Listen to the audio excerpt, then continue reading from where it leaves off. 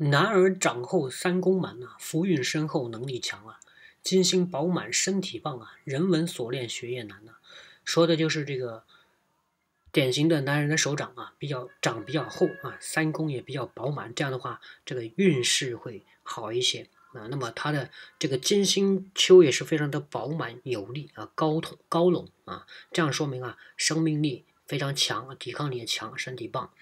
但是呢，人文锁链，也就是说，它这个人文是脑线啊，也跟学业很有关系啊。如果是初期有锁链的话，就难得学业啊顺利啊，就是说起步比较低啊。三线唯有人文清啊，后期人文变清楚了，那么遇到困难呢，心里静，就是说他这个遇到一些挫折的话，他不会慌张啊。人文呐。是脑线啊，跟你自己的心理素质和你的智慧是息息相关的啊。那么，如果是碰见困难，碰见一些人文严重的啊，有一些弯曲啊，或者有倒纹呐，这样的话就会造成心理负担。那么这个呢，遇到困难他会很冷静。预祝啊，纵使预祝断作两，从容面对前途明。也就是说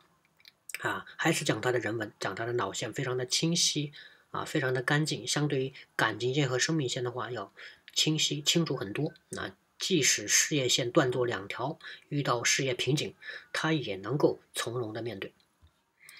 那么可惜呢，欲断元宝开啊，纵有财库把漏塞啊，就是说这个呃，由于事业线的断开啊，会导致这个这个元宝纹的财库漏开了啊，所以说纵有财库啊，还要把这个漏开的地方要塞住，所以说这个财进财出啊。婚线更靠小指下，晚婚为宜，早婚拆啊，就是说这个结婚线是更靠近小指下方，所以说适合晚婚啊，心性成熟之后，或者是说有一定的积累之后再婚，那么也不迟啊。就是说，如果你早婚的话，就容易被拆散，或者是说被生活的困到困难啊所打败。